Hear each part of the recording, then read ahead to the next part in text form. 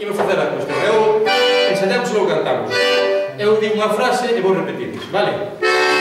Saímos da Coruña... Se podes así, é Saímos da Coruña con rumbo a Ferrole. Vos. Saímos da Coruña con rumbo a Ferrole. Estou bastante ben, pero podemos mellorar. Unha máis de xeito. Unha máis de xeito, veña. Un, dos, tres. Saímos da Coruña con rumbo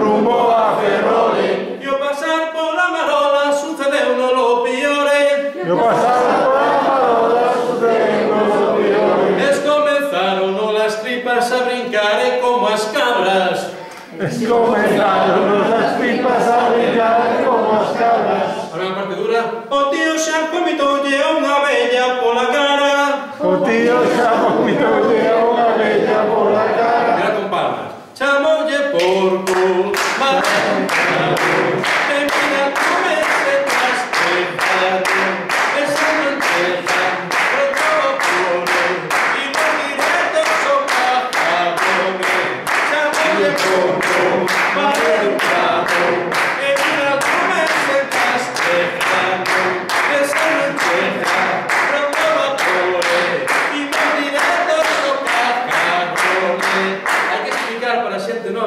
que o cajarrone non é o que parece.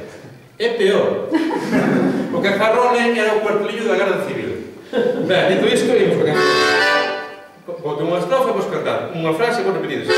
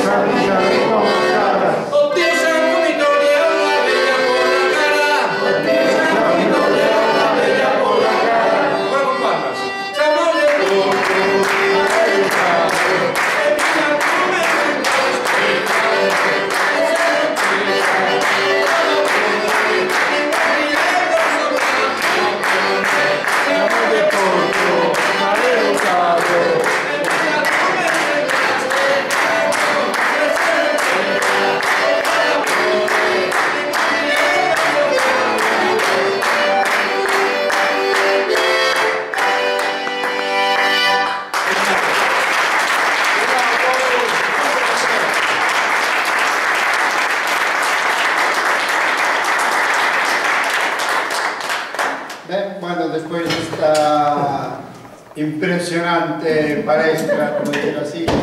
Tedes algún conto, alguna preguntilla que facerlle? Si, sí, o conto, do, o conto do, do Lorcho, de Muxía, como é? Eh, vamos a ver, non sei moi ben como é o conto. Eh, o, un tío meu, que se morreu, era irmán do Lorcho. Uh -huh. eh, o Lorcho chamabanlles O sea, naceron moitísimos, como, como antes, moitísimos irmáns en unha familia de, de Muxía, a familia Az, Az Martínez, que eran todos emparentados entre primos, todos, todos, todos, todos. Un si non era Az Martínez, eran Martínez Az, outros non sei que, ou Az Az ou Martínez Martínez, todos eran así. E o, Lorcho, eh, o, o que lle chamaban o Lorcho vivían na, na langosteira de Fisterra. Eu sei que lle chamaban o lorcho porque dedicábase a, a pesca dos lorchos, pero non che sei moito máis. Eu só sei eso, que era irmá do meu tío, que vivía en Fisterra, na langosteira, e que lle chamaban o lorcho de Fisterra. Pois Se quedamos aí con ese misterio do lorcho de Fisterra, xa preguntarei cada vez por Fisterra, pero máis... Na, na langosteira, na, na praia da langosteira. Seguro que a súa San Antonio. Seguro que sí. É que... E casualmente, perdona, que dices que os da Costa Morte iban a, a, a Gadozán. Meu tío vivía, meu tío vivía na Gadozán. É que é así. Eh... É que era así. Eh, e, eh, iso...